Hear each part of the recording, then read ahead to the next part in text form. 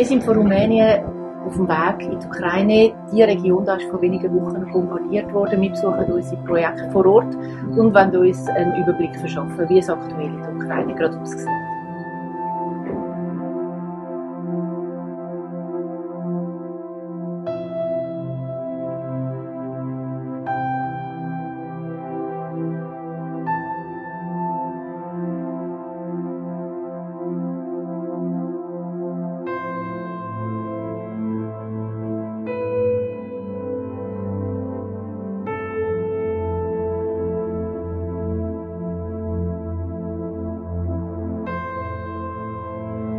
Seit Anfang 2022 herrscht hier in der Ukraine Krieg. Unzählige Menschen sind geflüchtet, viele haben ihre Tiere zurückgelassen, haben Hunde und Katzen ausgesetzt und Farmtiere in ihren Stall zurückgelassen. Wir haben dort mal sofort reagieren und mit rund 60 Tierschutzorganisationen und auch privaten Tierschützern können Kontakt aufnehmen. Wir haben in dieser Zeit mehrere hundert Tonnen Tierfutter geliefert und auch Tierhilfsgüter sind unterwegs.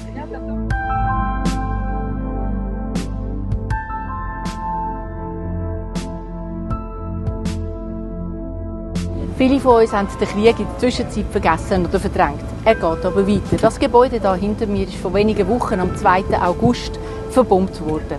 Das heisst, Tier und Mensch brauchen weiterhin dringend Hilfe.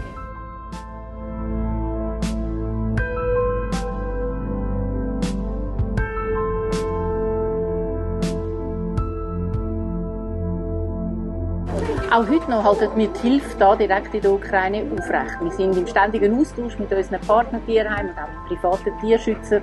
Und was jetzt nötig ist, ist der Wiederaufbau von zerbombten Tierheimen.